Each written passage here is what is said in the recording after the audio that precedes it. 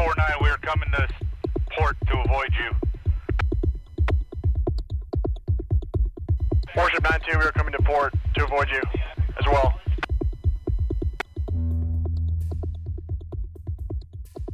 So on November 29th, a strange uh, occurrence happened in San Diego Bay between two U.S. Navy ships.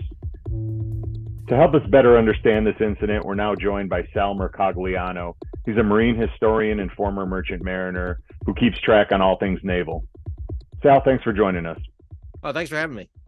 So we got this, you know, what appears, you know, externally to be some kind of harrowing footage of the destroyer Momsen, the dock landing ship Harper's Ferry, appearing to get pretty darn close there in the bay. Can you kind of take us through what happened from from your perspective?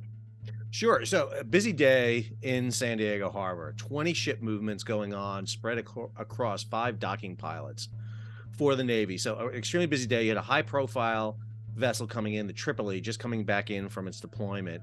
And here you have Harper's Ferry heading out, Momsen heading in. And basically, the ships got themselves into a meeting situation, a head to head situation, while coming around a turn just above North Island. And what the vessels did was basically, in, in lieu of doing a port to port passage, passing down the left side of each vessel, they wound up doing a starboard to starboard, coming down the right side. But it was fairly ad hoc. They had to do it at the very last minute. And there was a moment there where it looked like it could have been a dangerous situation. But fortunately, they were able to communicate with each other, make that decision, and get past each other. What is kind of the best practices for a situation like that? Would you have expected? Uh, how how would have those two ships passed ideally in a in a safe you know professional situation? So so what makes this really stand out was the fact that normally, and what you saw happen just prior to this, is that Harper's Ferry took the Tripoli down its port side, and that's normally what you would see is a port to port passage going out. Just like you drive down the road, you would put your, your your vessels on on the right side of the channel, and that's normally what you would do. But again, what you had in here was two very unique situations. The Harper's Ferry was coming out. You had a tide that was coming in at the time, and so Harper's Ferry wound up being a little bit off center in the channel, more toward the left side of the channel. Momsen at the same time was taking on the docking pilot. So they had a tug alongside the starboard quarter and they were forced to maintain a course and speed until that pilot was on board. And really, again, what you had was a happenstance here where both vessels began to make their turn almost simultaneously at each other. And fortunately, they were able to get on communications and decide to take the starboard to starboard passage. Not a violation of the rules of the road, it's perfectly what you can do but it was a very high vis incident taking place in San Diego Harbor, especially after a round of collisions have taken place over the past few years with Porter in the Persian Gulf and Fitzgerald and McCain, which resulted in losses of lives in 2017 in the Western Pacific. But just based on your experience in this in this sector, do you see fault there, or do you see, uh, you know, I mean, is this just something that kind of happens, but it was just very high visibility because it was captured on camera and you know went viral for a news cycle.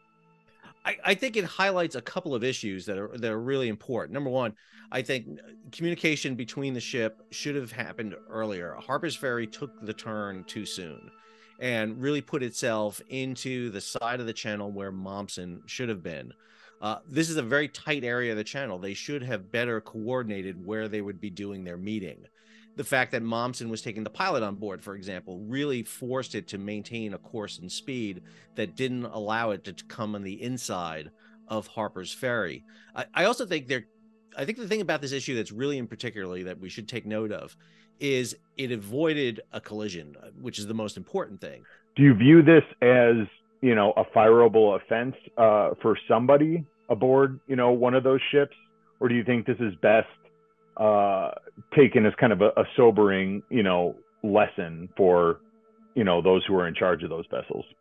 No, I, I, think this is a learnable moment, and I, I, don't think anyone should lose a job or even get dinged at, at, all for this because they were able to extricate themselves out of the situation, which is what you want. You you exactly want to happen what happened. Now, you could make the argument, well, they shouldn't have gotten themselves in that situation, which I think is the learnable moment. That's the thing you want to talk about why was it that Harper's Ferry made the turn when it did? Why was Momsen taking the pilot on board when it got into that situation and really couldn't uh, maneuver like it should? I, I think you know it's really important to take these moments, and again, we we have it caught on film. I think it should be talked about more with ship handling. Del Mercogliano, we really appreciate you taking the time to speak with us today.